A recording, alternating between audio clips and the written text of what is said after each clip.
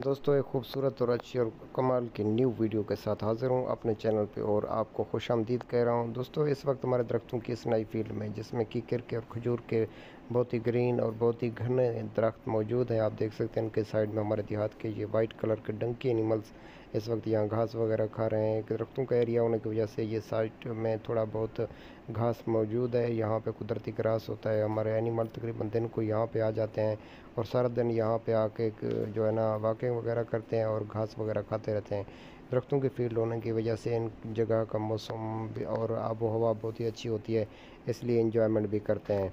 दोस्तों, आपको हमारा ये विलेज का व्यूज़ कैसे लगा एनिमल कैसे लगे कमेंट ज़रूर कीजिएगा। वीडियो अच्छी हो तो लाइक कर दें, दोस्तों को शेयर कर दें।